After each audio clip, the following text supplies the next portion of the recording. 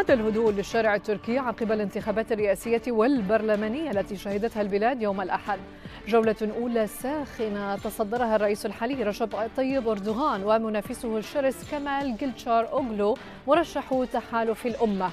تأجل الحسم في التنافس الرئاسي لجولة ثانية تحدد موعدها في الثامن والعشرين من الشهر الجاري.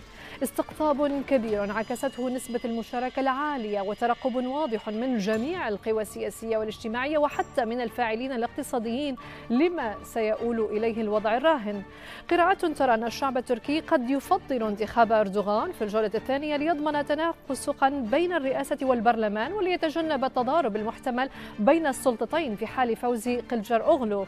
قراءات أخرى تجزم بأن التحالف الذي استطاع أن يقحم أردوغان في دور ثان ولأول مرة منذ وصوله للسلطة عاقد العزم على قلب الموازين بعد أسبوعين.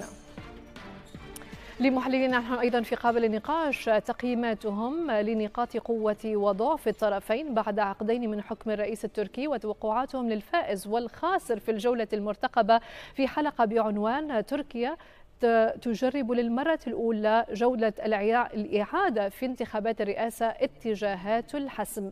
يشاركنا في التحليل والنقاش من إسطنبول آه، دكتور سمير صالحة أستاذ العلاقات الدولية من إسطنبول أيضا الأستاذ طه عودة أغلو الكاتب والباحث السياسي ومن باريس ينضم إلينا دكتور رامي خليفة العلي الباحث في الفلسفة السياسية بجامعة باريس. كما تعودنا نبدأ الحلقة بتساؤل واحد يتطلب إجابات مختصرة.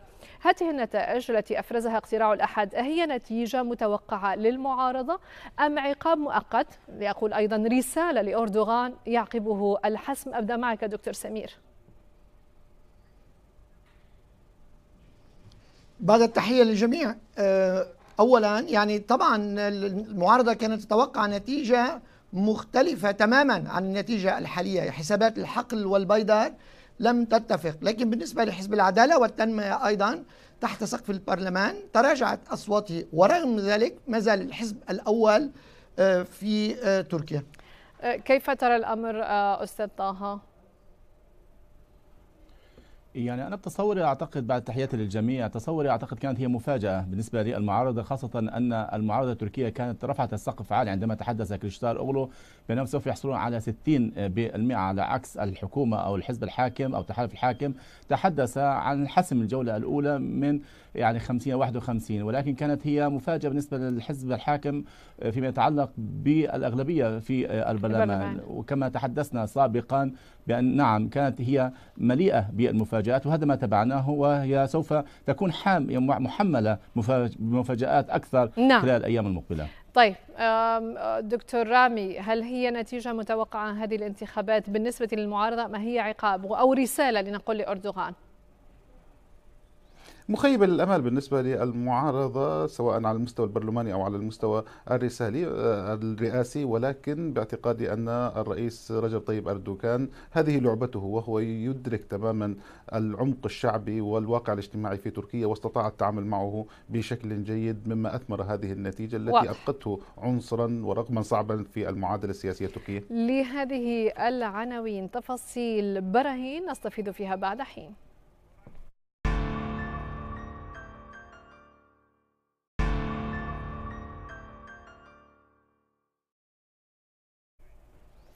مرحبا بكم من جديد. أبدأ معك دكتور سمير. ما هي الأسباب ما هي العوامل التي آه، فشل فيها آه، الطرفين من الحسم والفوز من الجولة الأولى؟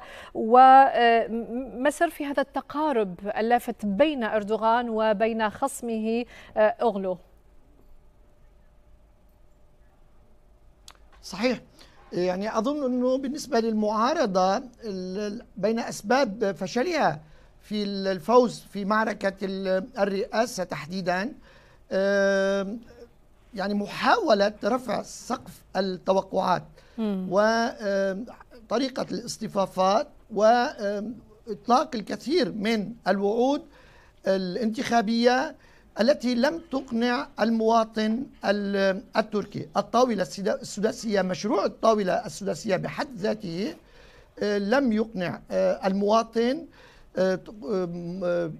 دخول ميرال أكشنير ومغادرتها الطاولة ثم عودتها إليها مجددا كان عامل سلبي على الطاولة وعلى القواعد الشعبية الداعمة للتحالف.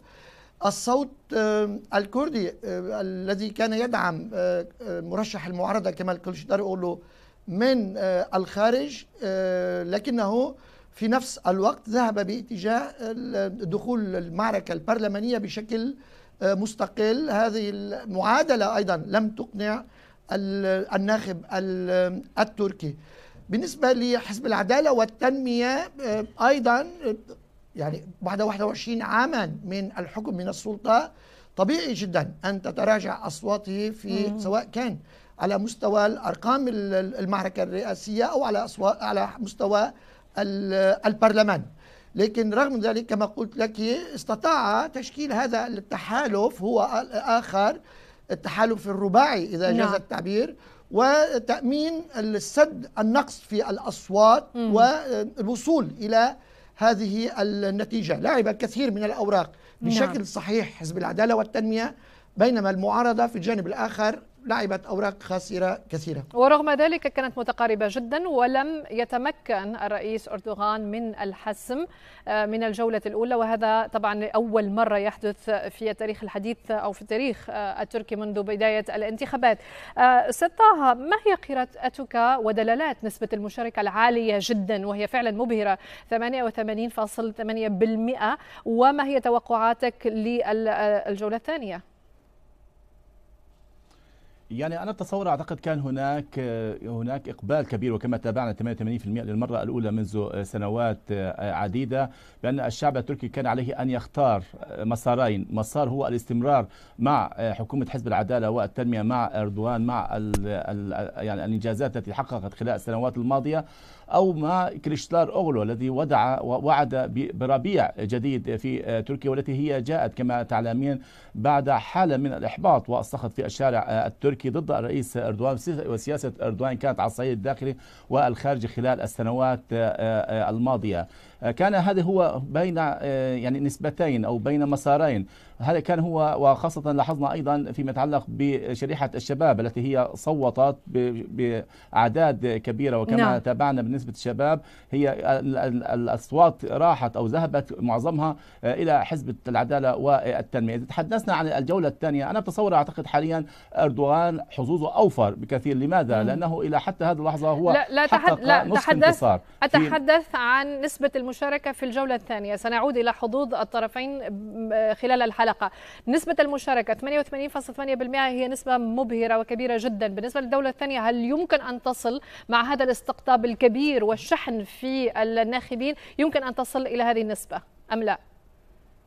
لا لا لا أتوقع لا أتوقع نعم. أن آه، تصل لهذه النسبة. لماذا؟ لعدة أسباب. أن مم. هناك عدد كبير من الأحزاب هي خسرت وأعتقد لن تكون هناك مشاركة. النقطة الأخرى وهي حالة الإحباط وخيبة الأمل في صفوف حزب الشعب الجمهوري. هناك نلاحظ حالة من الارتباك داخل هذه الصفوف. أيضا فيما يتعلق يعني ببعض يعني المناطق على سبيل المثال المناطق المنكوبة من الزلزال عدد كبير منهم توجهوا يعني بدعم أو بمساعدة من قبل الأحزاب يعني نعم. تم نقلهم من مدن إلى مدن أخرى.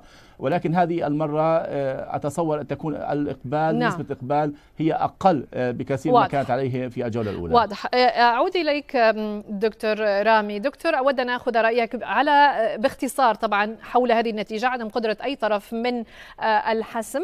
وثانيا لماذا جلبت انتباه العالم هذه الانتخابات؟ هناك آه، طاولات ونقاشات في كل دول العالم حول الانتخابات وانتظار النتيجة ومن سيحسم ولماذا؟ يعني فعلا نقاشات عميقة. في تونس مثلا هناك صخب حول هذا الموضوع نفس الشيء آه، في دول أخرى آه، والاهتمام كان كبيرا إما من صناع القرار ودوائر طبعا الدبلوماسية أو حتى من الناس العامة. كيف تفسر هذا الموضوع؟ اولا الحقيقة عدم قدرة أي طرف على الحسم لأن هنالك نقاط ضعف ربما أشار إليها الدكتور سمير ولكن أضيف فيما يتعلق بحزب العدالة والتنمية أنه جاء في مرحلة لاحقة مرت بها تركيا مرحلة من الضعف الاقتصادي تدني في الليرة تضخم كبير للغاية وهنالك خيبة أمل على مستوى الشباب وخصوصا في مستوى المدن الكبرى حيث هنالك تصويت لصالح المعارضة وهو الذي أدى في انتخابات البلديات إلى وصول إمام أوغلو على سبيل المثال ممثلا للمعارضة. وبالتالي الحقيقة في المدن الكبرى كان هنالك تصويت لصالح المعارضة ولكن في الأوساط المحافظة كان التصويت بشكل أكبر للعدالة والتنمية. أنت أشرت إلى نقطة على غاية من الأهمية وهي أن هنالك اهتمام كبير لأن ما يحدث الآن في تركيا هما خياران متناقضان سواء على مستوى الداخل أو على مستوى الخارج. هنالك حالة من الانقسام الكبير. على مستوى المناطق على سبيل المثال في عمق الأناضول كان التصويت لصالح حزب العدالة والتنمية في آه، سواحل بحر إيجا كان التصويت للمعارضة العلمانية. الأكراد صوتوا لمشروعهم الكردي ولما يفيد مشروعهم الكردي. وبالتالي باعتقادي أنه في نهاية المطاف هنالك حالة انقسام حاد داخليا. هذا انعكس على مستوى السياسة الخارجية. إذا ما فاز رجب طيب أردوغان فذلك يعني استمرارا في العلاقة الجيدة مع الجانب الروسي في أخذ موقف بعيد عن موقف حلف الناتو الداخل الآن في صراع استراتيجي كبير مع الجانب الروسي. علاقة متوترة أيضا مع الدول الغربية والدول الغربية فعلا كانت تتمنى أن يكون هنالك تغيير في أنقرة يؤدي إلى تحسين العلاقات مع الدول الغربية. وبالتالي ما يحدث الآن أن هنالك انتخابات سوف تؤدي إلى تغيير في السياسة الخارجية. وبالتالي كل الأطراف سواء الإقليمية أو الدولية مهتمة بنتائج هذه الانتخابات لأنها تدرك بأنه سوف يبنى على هذه النتيجة سياسات خارجية تؤدي إلى تغييرها في مستوى التوازنات الدولية لذلك الغرب كانت أنظاره مسمرة على نعم. نتائج الانتخابات في تركيا وهي مهمة دكتور رامي في كلمة الناس العادية يعني المتابع العادي لأي قضايا لماذا هو مهتم يعني هناك احتقان مثلا في لبنان أو في تونس عندما يتم النقاش في هذا الموضوع لديك تفسير؟ الحقيقة لأن هنالك خطاب أيديولوجي في تركيا انعكس على مستوى المنطقة صحيح. كما تعلمين فإن رجب طيب أردوغان ممثل للإسلام السياسي الذي صحيح. له وجود في الدول العربية أنت كما تعلمين حزب النهضة في تونس على سبيل المثال. هنالك نعم. إشكاليات كبيرة معه وهنالك حالة جدلية كبيرة وبالتالي ما يحدث في تركيا ينعكس على ما يحدث في تونس بالمناسبة الأمر نفسه يتكرر في مصر يتكرر في الأراضي الفلسطينية وفي مناطق متعددة حيث هنالك حضور للإخوان المسلمين المتعاطفين بشدة والذين ينظرون إلى أن النتيجة في تركيا هي نتيجة لهم صحيح. ولوجودهم بل ولمستقبلهم أيضا. صحيح صحيح. دكتور سمير أعود إليك. طبعا هذه الانتخابات هي انتخابات رئاسية وأيضا انتخابات تشريعية. في الانتخابات التشريعية تحالف الرئيس رجب طيب أردوغان تمكن من تحقيق أغلبية آه، نيابية مهمة جدا ب 322 مقعدا على 600 مقعد آه، موجودة وتم آه، طبعا الانتخاب عليها. ما العوامل التي خدمت الحزب الحاكر؟ ومن معه في هذه الانتخابات لتحقيق هذه النتيجة ولم تسعف الرئيس في الانتخابات الرئاسية آه، ما هو تحليلك لهذه النتائج؟ يعني أنا أظن النقطة الأساسية هي قناعة الناخب التركي بأنه مشروع التغيير أو حملات التغيير التي تبنتها المعارضة لم تطمئن لا المواطن ولم تقنعه بأنه الوعود الانتخابية قادرة على آه، تغيير المعادلات في آه، تركيا. لذلك المواطن اختار عملية الاستمرار مع آه، الحزب الحاكم العدالة والتنمية ومع تحالف الأمة.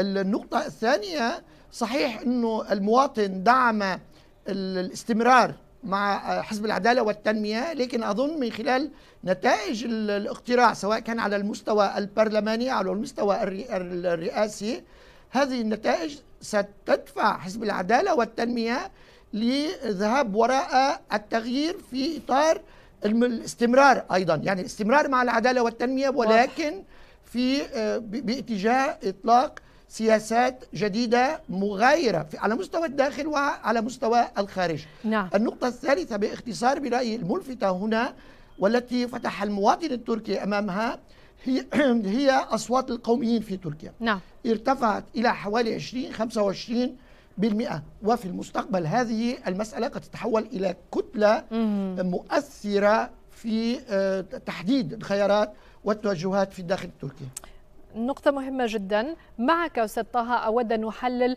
ما حققته المعارضة وأحساب المعارضة داخل البرلمان. حزب الشعب الجمهوري حل في المرتبة الثانية بعد العدالة والتنمية ب 25% ربع البرلمان تقريبا. حزب الحركة القومية 10% وما أشار إليه الآن أستاذ سمير.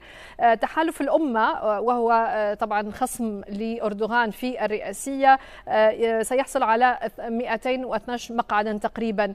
هناك أيضا نصيب تحالف العمل والحرية 66 مقعد. هذا التشرذم في المعارضة داخل البرلمان كيف سيؤثر على عمل البرلمان مستقبلا؟ وهل يمكن أن يؤثر على النتائج الرئاسية بعد أسبوعين؟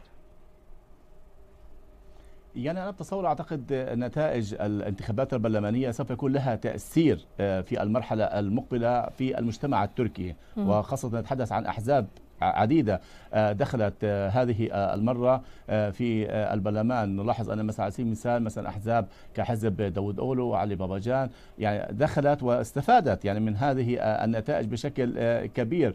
وخاصة بعد أن تحالفت مع تحالف الأمة مع كريشلار أولو. النقطة اللافتة في الانتخابات البرلمانية وحقيقة يعني كما ذكر ضيوفك يعني الأيديولوجية القومية كانت حقيقة هي كانت واضحة أو عامل مهم في السلوك التصويتي وهذا حقيقة يختلف عما تبعناه في السنوات الماضية. كانت العامل المحافظ المحافظين هم مسيطرين بشكل كبير أو ولكن هنا القومية لماذا وصلت هذه المرحلة أو إلى هذه الدرجة؟ أنا بتصوري هي هناك عدد من العوامل. العامل الأساسي وهو التقارب آه، حزب الشعب الجمهوري كليشتار أولو مع آه، الأكراد خلال. الفترة الأخيرة الماضية مع حزب الشعوب الديمقراطي والنقطة المهمة والتي كانت أحد أسباب الاسباب بوجهة نظري خسارة آه، آه، كريستلار أوغلو حتى في الانتخابات آه، البرلمانية. كان هناك توقعات ان يكون الأغلبية المطلقة لهم الأصوات التي خرجت من حزب الشعوب الديمقراطي في الفترة الأخيرة. يعني لم يركزوا على الاقتصاد المشكلة الأساسية في البلاد ولكن ركزوا على الأمور الوطن وأقصد هنا الوطن الكردي. وهذا نعم. حقيقة يعني هناك عدد كبير من الناخبين في اللحظات الأخيرة كانوا يريدون التصويت لكريستار اولو لكن عندما سمعوا هذه الكلمات عادوا مرة ثانية وصوتوا آه، للرئيس أردوغان. واضح. آه، دكتور رامي أود أن أسألك عن مكونين في المنتخبين مهمين جدا. المكون الأول هم هؤلاء الشباب. ذكرهم دكتور طه وأنهم مهمين جدا في هذه الانتخابات ولكن أن أسأل شريحة الجنزي أو الجنريشن التكنولوجيا وهم الذين ولدوا في التسعينات إلى 2006 يعني في حياتهم كلها لم يعرفوا إلا رجب طيب أردوغان والعدالة والتنمية. هذا المكون الأول الذي أسأل عنه لمن يصوتوا وكيف هي ذهنيتهم للتغيير أو نحو البقاء آه، في استقرار الذين عرفوه منذ ولادتهم؟ المكون الثاني هم المصوتون في الخارج.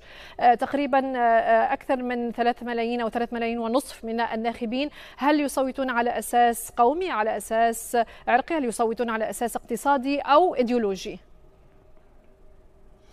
بالنسبة لشريحة الشباب باعتقادي أنها لم تختلف كثيرا عن البيئات الاجتماعية التي خرجت منها. دعينا نشير نوفل بالرغم مما ذكره ضيوفك الكرام وأتفق مع جله لكن هنالك نقطة أساسية. كان التصويت في معظمه تصويتا أيديولوجيا. لذلك إذا ما نظرنا إلى الخارطة الانتخابية تجدين أن البيئات المحافظة على سبيل المثال والبيئات المتدينة في هضبة الأناضول كانت صوتت بشكل واسع لصالح حزب العدالة والتنمية على صعيد البيئات العلمانية والعلمانية المتطرفة والتي لها حضور في مدينة أزمير على سبيل المثال ومدن أخرى. الحقيقة صوتت لصالح العلمانية وهنا التصويت كان كان أيديولوجيا أيضا. بمعنى أن هنالك نسبة واسعة ربما تتجاوز الستين بالمئة. هي كانت تصوت أيديولوجيا بغض النظر عن السياسات. هي لم تضع برامج الأحزاب وتدرسها وتفضل وتأخذ الأفضل منها وإنما هي صوتت من ناحية أيديولوجية. وبالتالي كثير من هؤلاء هؤلاء الشباب صوتوا انطلاقا من البيئة الاجتماعية التي ينتمون إليها واضح. وهذا ربما لم يؤثر كثيرا لم يظهر صوت الشباب. هنالك فقط نقطة أساسية ربما أثر فيها الشباب وهي الحضور في المدن الكبرى حيث كان هنالك تماس مع التكنولوجيا التي أشرت إليها وبالتالي استطاعت أحزاب المعارضة أن تظهر عوامل الضعف في الحكومة التركية سواء على المستوى الاقتصادي على مستوى الاستبداد ما بين الظفرين وتحول تركيا إلى دولة الرجل الواحد والحزب الواحد. وهذا خطاب وجد تأثيره لدى فئات واسعة من الشباب التركي. وبالتالي من هنا كان التأثير فقط في المدن الكبرى الذين هم على احتكاك مع الوسائل التقنية الحديثة ووسائل التواصل الاجتماعي بشكل مباشر وعريض. أما فيما يتعلق بالقسم الثاني آه، من سؤالك عفوا هل يمكن تفكيري به؟ نعم طبعا. هو موضوع المنتخبين في الخارج تقريبا عددهم 3 ملايين ونصف. على أي أساس ينتخبون؟ أيضا إيديولوجيا ام اقتصادي أم قومي؟ طبعا هم هم بالنهاية انعكاس للمجتمع التركي في في نهاية المطاف، لكن إذا ما نظرنا إلى بعض الدول على سبيل المثال كما تعلمين هنالك غالبية تركية موجودة في ألمانيا صوتت في معظمها لصالح حزب العدالة والتنمية لأن هنالك صراع غربي وخطاب متوتر ما بين ألمانيا والدول الغربية من جهة وتركيا وبالتالي هذا أثر ايجابيا لصالح حزب العدالة والتنمية. وقد استطاع الرئيس التركي رجب طيب أردوغان أن يلعب على هذا الوتر خلال السنوات الماضية خصوصا فيما يتعلق بالإسلام والاساءات الإيحاءات الكاريكاتيرية على الرسوم الكاريكاتيرية فهو استطاع أن يحقق شعبية معينة. أيضا الجالية تركية كبيرة موجودة في السعودية أيضا صوتت لصالح حزب العدالة والتنمية وكان البعد الأيديولوجي حاضر. ولكن إذا أخذنا على سبيل المثال المصوتين في السويد وفي النرويج والدول الإسكندنافية حيث هنالك غالبية كردية كان التصويت بكل تأكيد لصالح أحزاب المعارضة وهنا لم يكن المسألة لها علاقة بالداخل التركي أكثر منه علاقة بالقضية الكردية. نعم. رجب طيب أردوغان للقوميين الأكراد هو شخصية مكروهة وينظرون بأنه يمثل عائقا أمام التحقيق أو التقدم باتجاه الحلم الكردي. بعد الفاصل سنتحدث عن المواقف والرهانات قبل الدور الثاني لهذه الانتخابات بعد أسبوعين ابقوا معنا.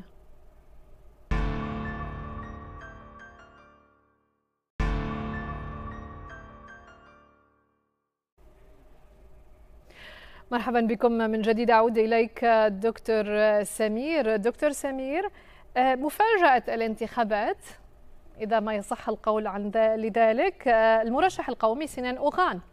ركز في تصريحاته الأخيرة قبل الانتخابات وقبل الاقتراع أن هدفه الحالي هو ألا يتم حسم الانتخابات من الجولة الأولى وإنما دفع البلاد إلى جولة ثانية. نجح في هذا آه، الخيار أو هذا الرهان. آه، أبدأ معك حول من هو سنان أوغان. ما هي شخصيته؟ ما هي تركيبته؟ ما هي خلفيته؟ وهل سيسعى الآن أن يكون صانع الملوك؟ يعني آه، طبعا المفاجأة الانتخابات أتفق معك كانت الكتلة القومية الشبابية الغاضبة المغبونة إذا شئت آه، داخل المجتمع التركي التي وقفت إلى جانبه. نسبة 5.3% ليست قليلة إطلاقا. آه، سنان أوغان أكاديمي بالدرجة الأولى بالدرجة الأساسية ابن مدينة مدينة في شرق تركيا يساري في بداية عمله الحزبي والسياسي لكن تحول سريعا إلى تبني القومية والتحق بهذه الحركات. تواجد في حزب الحركة القومية كنائب وأخرجه الحزب بعد مواقف مغايرة لما للشعارات والمبادئ التي تتبناها الحركة. آه، انفصل وبدأ يتحرك بشكل مستقل. كما تتذكرين هو ترشح للرئاسة من الخارج وليس عضو في البرلمان. دخل المعركة بشكل مستقل حصل على مئة ألف صوت رشحته لدخول المعركة وحصل على هذه النتيجة.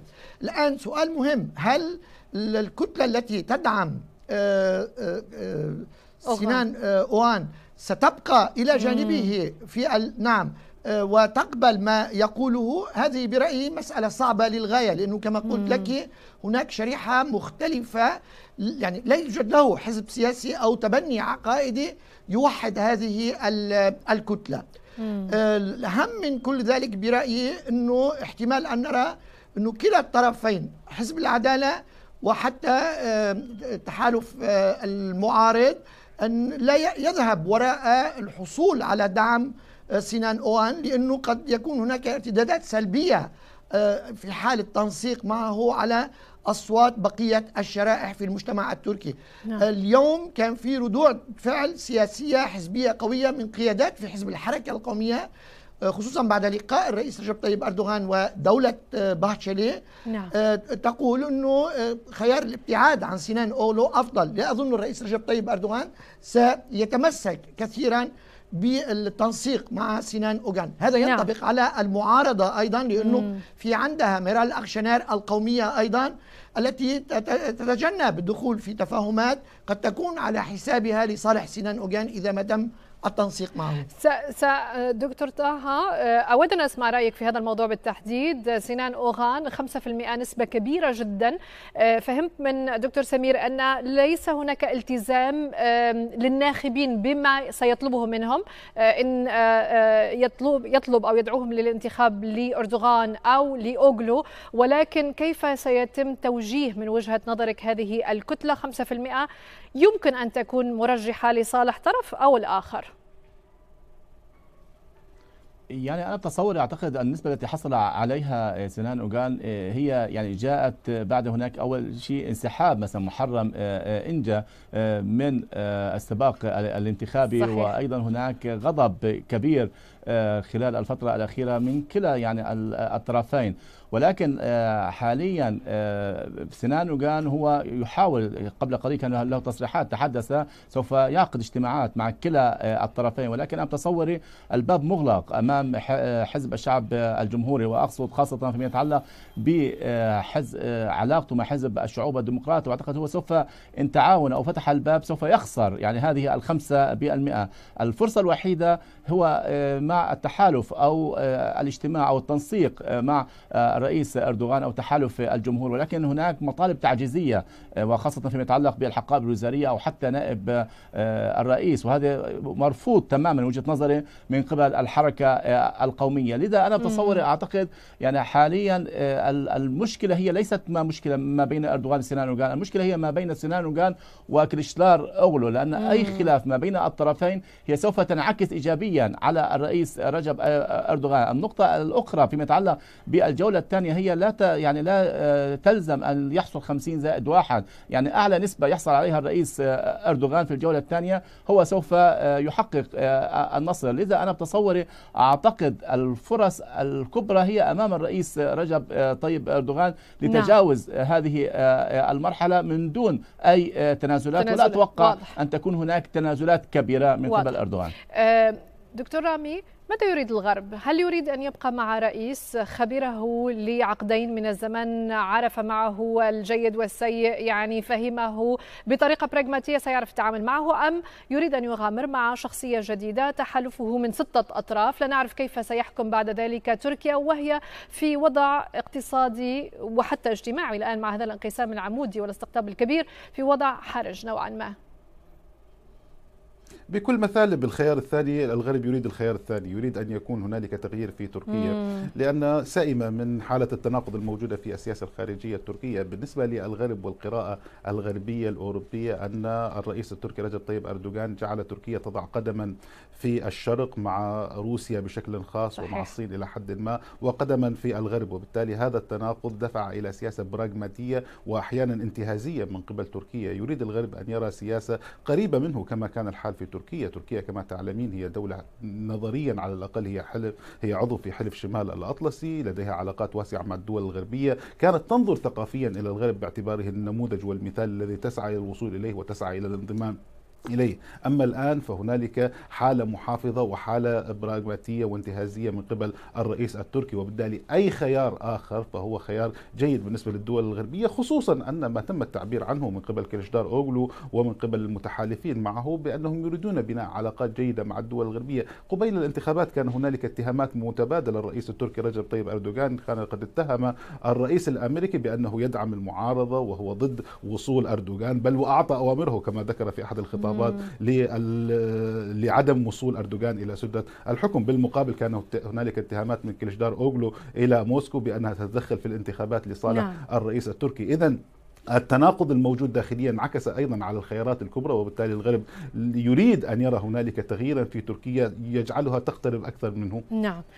دكتور سمير آه، أسبوعان هو وقت قصير جدا بالنسبة لهذه الحملة الانتخابية الثانية قبل يوم الحسم من وجهة نظرك هل أردوغان لديه آه، حملة انتخابية جديدة عن لديه أوراق حسم تساعده على آه، فوز بالاستحقاق في 28 من من هذا الشهر؟ يعني أظن الورقة الأساسية التي سيلعبها الرئيس رجب طيب أردوغان هي تفكك المعارضة تشرذم الطاولة السداسية والخلافات التي بدأت تظهر إلى العلن في صفوف آه، قياداتها. تبادل آه، الاتهامات حول من يتحمل مسؤولية الوصول إلى هذه النتيجة. وهذه ستكون ورقة أساسية لصالح الرئيس رجب طيب أردوغان.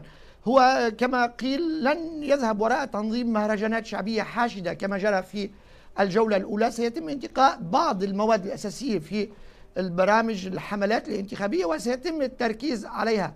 لكن يعني كثير الآن من الآراء تذهب بأنه النتيجة شبه شبه واضحة في الجولة الثانية صعوبة أن تخرج المعارضة من هذه الأزمة آه، التي تعيشها الآن وأن تنظم صفوفها لتذهب وراء آه، آه، انتخابات نعم. جديدة لكن في نقطة مهمة أنه حتى يعني فوز الرئيس رجب طيب أردوغان يعني أنه نعم سنرى في الداخل التركي خارطة تحالفات نعم. سياسية نعم. حزبية جديدة سنرى أسلوب جديد أنا وأنت لا نعرف كيف سيكون شكل الحكومة في صحيح. المرحلة المقبلة هل سي يبقى حزب العدالة والتنمية بمفرده في السلطة. أم سيدخل متحالفين طبعا بقية الأحزاب الذي دعمت. واضح. لا وسنتحدث عن في المحور القادم قبل ختام هذه الحلقة. أستاذ طه المعارضة الآن المعارضة لديها أيضا أسبوعين للبرهن على أنها تستحق الفوز أو أغلو يستحق الفوز بالرئاسيات وتغيير 20 آه، سنة من حكم العدالة والتنمية. على ماذا سيعول على ماذا سيراهن في الفترة القادمة؟ وهي فترة قصيرة. يعني أنا أتصور إلى حتى هذه اللحظة المعارضة هي لم تستسلم. يعني مم. بالأمس كان هناك اجتماعات مكثفة لدى حزب الشعب الجمهوري ما بين آه، إمام أولو ومنصور يواش وكوادر آه، الحزب. سوف تكون هناك استراتيجية آه، مختلفة لحزب الشعب الجمهوري وفيما يتعلق سوف يتم التركيز بشكل كبير عودة من جديد لموضوع الاقتصاد والأزمة الاقتصادية عودة موضوع إلى موضوع الإرهاب دون المس. يعني بموضوع آه، يعني آه، حزب الشعوب الديمقراطي. وأيضا القضايا المتعلقة التي هي ممكن أن تحرج آه، حزب العدالة آه، والتنمية أو تحالف آه، الجمهور. أعتقد هذه النقاط التي سوف يتم التركيز عليها. ولكن هي الهامش أو هامش من نور وجهة نظري هو قصير يعني ضيق جدا نعم. على خلاف هناك الحزب الحاكم الذي هو استطيع أن أقول هو أريحية على سبيل المثال. يعني سألت قبل قليل الدكتور سمير فيما يتعلق بموضوع استراتيجية الحزب خلال المرحلة المقبلة يعني بالأمس لاحظنا أن الحزب الشعوب الديمقراطي منع عدد كبير من المنكوبين الذين يقيمون في الفنادق إخراجهم من تلك آه، الفنادق بسبب آه، عدم التصويت لهم الرئيس أردوغان بالأمس تحدث نعم. وقال بأنه سوف يقوم بزيارة هذه المناطق المنكوبة يوم السبت مم. والأحد حتى لو أنهم لم يصوتوا له فهذا أنا أتصور أعتقد هذه إحدى النقاط الإيجابية التي نعم. يستطيع أن يفهم شعبه أقصد عن الرئيس أردوغان على عكس نعم. المعارضة التي حقيقة كانت هي بعيدة آه، كل البعد عن الميدان عن, عن, ما يراه عن الشعب نعم واضح الميدان نعم دكتور رامي مرشح المعارضة أغلو تعهد بترحيل آه، اللاجئين السوريين واللاجئين بصفة عامة والسوريين خاصة خلال عامين إذا ما أصبح رئيسا. هذا تعهد خلال الحملة الانتخابية. بالنسبة للرئيس رجب طيب أردوغان كنا تابعنا خلال الفترة الأخيرة آه، كل الخطوات التي أقدم عليها هو وحكومته للتقرب من آه، دمشق. من وجهة نظرك إلى أي مدى كانت هذه الورقة ورقة اللاجئين السوريين آه، هي ورقة مهمة تم توظيفها خلال هذه الانتخابات. من قبل الطرفين.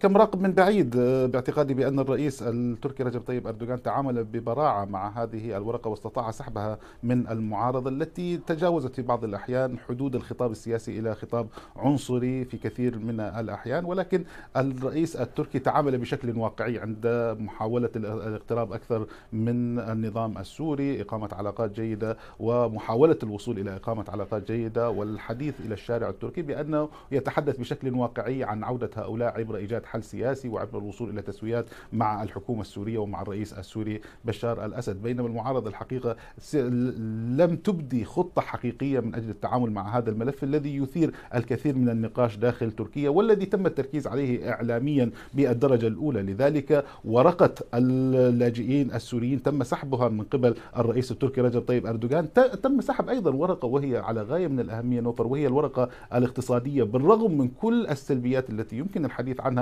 في سياسة الحكومة التركية خلال السنتين الماضيتين ولكن المعارضة بالفعل لم تستطع التعامل مع هذه الورقة وتظهر أن لديها بديل حقيقي يمكن أن يكون بديلا عن آه، سياسة الحكومة التركية فيما يتعلق بأسعار الفائدة فيما يتعلق بالمشاريع الاقتصادية وما إلى ذلك. وبالتالي الحقيقة أوراق الضغط التي كان يمكن أن تستخدمها المعارضة لم تستطع الاستفادة منها وتعامل معها الرئيس التركي بشكل جيد جدا واستطاع أن يجيرها لصالحه. الحقيقة نقطة ملفته للنظر وهي أن المناطق التي تعرضت للزلزال خلال الشهور الماضية صوتت في معظمها لصالح حزب العدالة والتنمية ولصالح الرئيس التركي رجب طيب أردوغان وهذه ورقة كان يمكن أن تضغط من خلالها صحيح. المعارضة ولكنها أيضا لم تستطع التعامل بالمناسبة الرئيس التركي عند بداية وصوله إلى السلطة في بداية ال2000 تحدث عقب زلزال مدمر أيضا وقال الزلزال لا يقتل البشر ولكن سياسات الحكومة هي التي تقتل الناس والآن لم تستطع المعارضة أن تقول. نفس الجملة وأن صح. تقنع الأتراك بأنها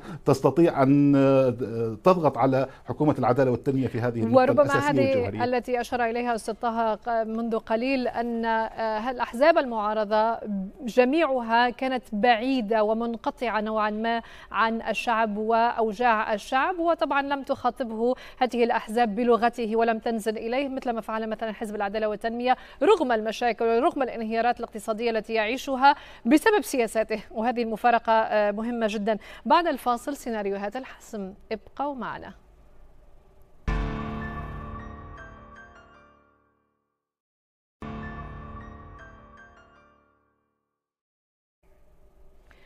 مرحبا بكم من جديد. أعود إليك دكتور سمير.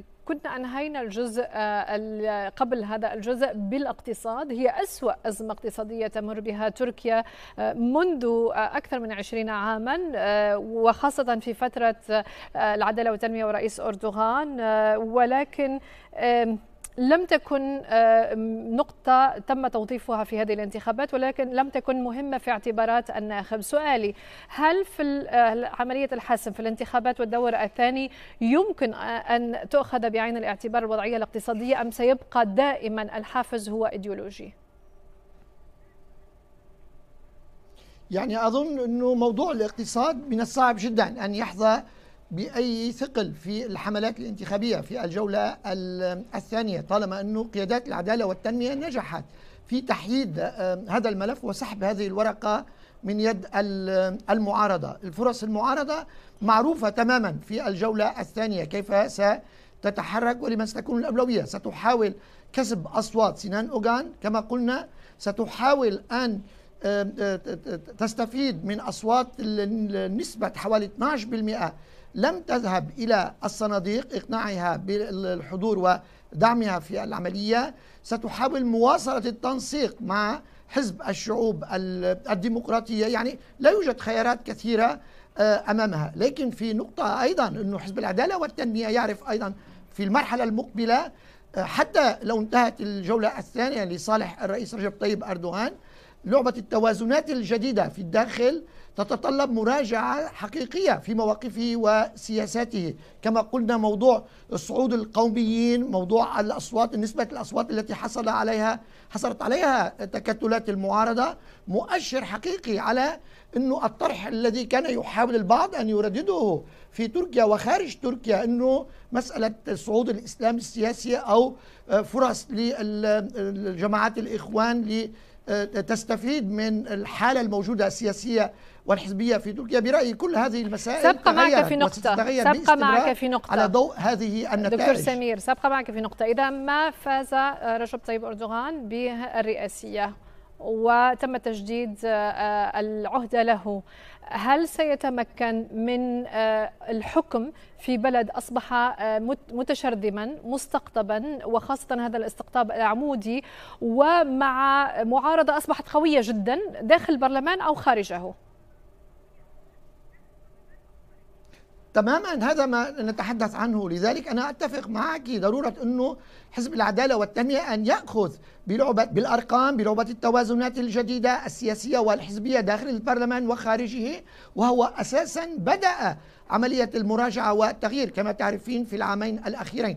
في باتجاه الخارج نعم الكثير من التعديل والمراجعة. الآن المتبقي هو في الداخل. يعني نحن مثلا نحتاج في تركيا إلى دستور جديد. المعارضة أعلنت أنها تدعم هذه الفكرة والحزب الحاكم أيضا. هل سنناقش صناعة دستور تركي جديد في الداخل التركي آه، آه، في الأشهر القادمة أم لا؟ هذه بين النقاط الأساسية نعم. التي سنطرحها برأيي. لأن الموضوع أيضا لديه علاقة بشخصية رجب طيب أردوغان وهل هو قادر أن يحكم وهل تعود أنه يقود البلد تقريبا بنفسه فقط بقيادته فقط؟ هل سيتعود على أن يكون هناك أطراف أخرى فاعلة معه في تحديد مستقبل البلاد؟ هذا أيضا هو الرهان المهم على مستقبل تركيا. أستاذ طه آه، ما أهمية أن يكون لدى الرئيس المقبل آه، لتركيا أغلبية في البرلمان؟ هذا طبعا لتمرير بأريحية قوانين وتشريعات بالنسبة للبلد. هذا ينطبق فقط على حالة رجب طيب أردوغان الذي تمكن من آه، أكثر من نصف مقاعد البرلمان بالنسبة لأوغلو. إذا ما فاز؟ هل سيكون هناك تعطيل بين الرئاسية وبين التشريعية؟ يعني أنا تصور أكيد يعني وأضرب لك مثال على ذلك ما حصل في بلدية إسطنبول عندما فاز آه، أكرم إمام أولو في عام 2019 المجلس البلدي في بلدية إسطنبول هو معظمه وجله هو من حزب العدالة والتنمية. إلى حتى هذه اللحظة هناك تم تعطيل عدد كبير من مم. القوانين. ونلاحظ أن إمام اوغلو هو غاب عن المشهد حتى في الفترة الأخيرة دائما يسألونه أين أنت خارج إسطنبول. لذا يعني في حال يعني فاز وهذا مستبعد آه، كليتشدار آه، اوغلو في آه، الرئاسة سوف يكون هناك مقيد لأن هناك نتحدث عن دولة الرئيس اردوغان 20 سنة 20 عام يحكم البلاد. سوف تكون معارضة قوية جدا وسوف تكون كل قراراته يعني آه، آه، من الصعب جدا آه، تمريرها. لذا أنا بتصور أعتقد حاليا يعني المعارضة التركية والسيد كمال كيشتار أولو بين نارين فيما يتعلق إن كان إن فاز الحكومة وإن خسر سوف يخسر يعني حياته السياسية وخاصة كما تفضل ضيوفك وذكروا بأن هناك المشاكل والتصدعات بدأت منذ اللحظة الأولى. يعني لاحظنا أن كمال كيشتار أولو بعد يعني الخسارة قام باقاله عدد كبير من المسؤولين في حزبه وهذه الدلالة واضحة على حالة التصدعات والمشاكل التي يعني ظهرت للعلن ناهيك عن مم. المشاكل الخفية التي لم تظهر حتى هذه اللحظة. نعم. أه، دكتور رامي أعرف أنكم جميعا أه، فهمت من كلامكم أنكم تتوقعون أن رجب طيب أردوغان هو من سيفوز في الدور الثاني ولكن دعني أسأل إذا ما فاز اوغلو منطقيا كيف يمكن لتحالف فيه ستة أطراف أن يسود ويحكم في آه، دولة مشردمة. دائما أقول حزبيا آه، مثل ومستقطبة آه، جماهيريا وشعبيا مثل تركيا اليوم. ربما هذه سوف تكون الصعوبة الأخف التي يمكن أن يعانيها الرئيس المقبل إذا كان آه، أوغلو باعتقادي أن هنالك الكثير من الصعوبات أهمها وأبرزها أن هنالك سيطرة لحزب العدالة والتنمية مم. والرئيس التركي رجب طيب أردوغان ليس فقط على البرلمان ولكن على مفاصل الدولة صحيح. برمتها إذا ما رجعنا إلى الانتخابات التي حدثت ولاحظنا وسائل الإعلام وعلى رأسها وكالة الأناضول التي كانت كما اتهمت من قبل المعارضة بأنها صوت الرئيس وصوت حزب العدالة و التنمية وهذا ينطبق على مؤسسات الدولة التي بالفعل استطاع الحزب حزب العدالة واستطاع الرئيس أن يسيطر عليها وأن يستخدم مبدأ الولاء بدل مبدأ آه، الكفاءة. وبالتالي باعتقادي أن هنالك الكثير من الصعوبات التي سوف يواجهها الرئيس إذا كان ينتمي إلى المعارضة بدءا من المخابرات بدءا من الجيش بدءا من المؤسسة الأمنية انتقالا إلى البرلمان وانتقالا إلى حالة التشرذم السياسي وحالة عدم التأييد على مستوى وقطاعات واسعة كثيرة اجتماعية لكن لذلك سوف يدخل في مغامرة غاية في الصعوبة ومهمة تكاد تكون مستحيلة إذا ما وصل إلى منصب نعم. الرئاسة مع أن كما ذكرت هذا مستبعد حتى الآن أه، دكتور سمير قبل أن أذهب إلى السؤال الختامي أود أن أه، معك أن نفهم شخصية أردوغان لأن تركيا التي سيستلمها أه، بعد الفوز إذا ما فاز بعد أسبوعين ستكون مخالفة تماما لتركيا التي حكمها لمدة عقدين لأن نصفها يرفضه ولم يصوت له وهو عليه أن يحكم هذه تركيا في هذه الأزمات التي تمر بها ويحاول أن يوحدها هل شخصيته قادرة على التوحيد؟ يعني بالنسبة لتجربة وخبرة الرئيس رجب طيب أردوغان في العمل السياسي والحزبي كما تعرفين حوالي 60 عاما 55 عاما في قلب المشهد الحزبي والسياسي في في تركيا منذ الصغر. لا مشكلة إطلاقا في أن ينجح الرئيس رجب طيب أردوغان في إقامة معادلات توازنات آه، آه، برأيي يبقى تسهل له البقاء على رأس السلطة. المهم الآن هو قراءة الأرقام والمعطيات كما قلت لك النتائج بطريقة عملية براغماتية والتعامل معها. على هذا الأساس. وأظن هذا ما سيفعله الرئيس رجب طيب أردوغان إذا ما فاز في الجولة الثانية. فوز مرشح المعارضة كمال أولو في الجولة الثانية. يعني يعني إنه عندنا خيار التفاهم بين آه، كلا الطرفين وهذا احتمال صعب جدا على إدارة شؤون البلاد. وإما الذهاب مجددا إلى انتخابات آه، مبكرة. وهذه أيضا برأيي مسألة يعرفها تماما الرئيس رجب طيب أردوغان لذلك في حال فوزه في الجولة الثانية سيباشر فورا بمراجعة الكثير واضح. من السياسات ويأخذ بعين الاعتبار مسألة أين اخطانا سأختم معكم آه، بتساؤل واحد. أعود إليك أستاذ طه. ما التغيرات التي يحملها هذا الاستحقاق الرئاسي القادم لتركيا على المستوى الاقتصادي والاجتماعي والسياسي؟ طبعا آه، كيف ستتغير تركيا في المستقبل؟ أيا كان آه، الرئيس أستاذ طه؟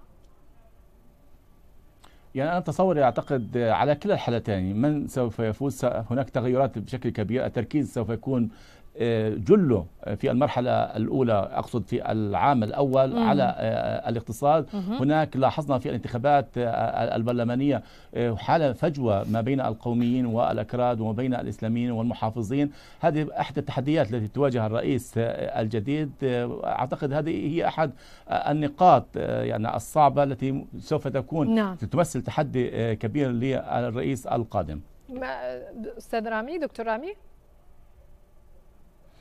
باعتقادي التغير القادم هو تغيير الدستور حتى يبقى الرئيس رجب طيب أردوغان مرة ثالثة ورابعة باعتقادي هذا هو ربما ألمح إليه نعم. سمير الدكتور سمير صحيح. قبل قليل وباعتقادي هذا هو المشروع القادم أما تغييرات حقيقية في إطار النظام السياسي والاقتصادي باعتقادي لن نرى الكثير سوى مزيدا في آه، تركيز السلطة بيد الرئيس التركي واستمرارا في نفس السياسات في إطار الإقليمي وفي الإطار الدولي هذا هذا يمكن أن يؤدي إلى تغييرات حادة حاده كما شهدنا خلال السنوات الماضية، لكن التغيير الأهم الذي سوف يبدأ الحديث عنه بمجرد نهاية هذه الانتخابات هو تغيير الدستور مرة أخرى لكي يبدأ عداد الرئاسة من الصفر مرة أخرى بالنسبة نعم. للرئيس التركي. كلمة الختام معك دكتور سمير تركيا بعد هذه الانتخابات ما هي ملامحها من وجهة نظرك؟ يعني أظن صباح التاسع والعشرين من أيار المقبل ستواصل تركيا سياساتها الإقليمية والدولية. هذه السياسات المنفتحة أكثر على الجانب الروسي وربما آه، الحالة القائمة في التعامل مع الغرب. النقطة الأهم هي مواصلة سياسة المصالحة والتطبيع والانفتاح على دول الجوار في العالم في العالمين العربي والإسلامي. وكما قلت لك دستور تركي جديد مم. عصري الرئيس رجب طيب أردوغان بعد الآن لن يكون بين أولوياته آه، طلب البقاء على رأس السلطة لحقبة جديدة بعد فوزه في الجولة الثانية من المعركة. سيفتح الطريق أمام مسار سياسي حزبي جديد في الداخل التركي برأيي بهذا وصلنا إلى ختام حلقتنا من قابل النقاش التي كان عنوانها تركيا تجرب للمرة الأولى جولة الإعادة في الانتخابات الرئاسية اتجاهات الحسم. شاركنا في التحليل والنقاش من إسطنبول كل من الدكتور سمير صالحة أستاذ العلاقات الدولية والأستاذ طه عودة أوغلو الكاتب والباحث السياسي ومن باريس كان معنا دكتور رامي خليفة العالي الباحث في الفلسفة السياسية بجامعة باريس. يسعدنا أن يستمر تفاعلكم مع كل ما جاء في الحلقة على صفحة قابل النقاش على الفيسبوك وتويتر ويوتيوب وموقع مؤسسة دبي للإعلام على الإنترنت حيث يمكنكم مشاهدة هذه الحلقة والحلقات الماضية. أمام الرئيس التركي القادم اقتصاد لم ينهض بعد من صدمات كورونا ولا من تبعات زلزال فبراير الماضي ولا من تبعات الحرب الروسية الأوكرانية المتفاقمة. في حال إعادة انتخاب الرئيس المنتهية ولايته وهو أمر وارد جدا فمن الوارد أيضا أن يعيد النظر في سياساته الاقتصادية غير التقليدية التي يتبعها منذ أمد بعيد. أما في حال وصول مرشح المعارضة لكرسي الرئاسة فإن أولى أولوياته وحسب خطاباته هي العمل بأجندة اقتصادية تعالج جميع المشكلات الاجتماعية والاختلالات الاقتصادية. في كل الاحتمالات وأيا كان خيار الأتراك في جولة الإعادة فإن طريق رئيس تركيا القادم لن يكون مفروشا بالورود.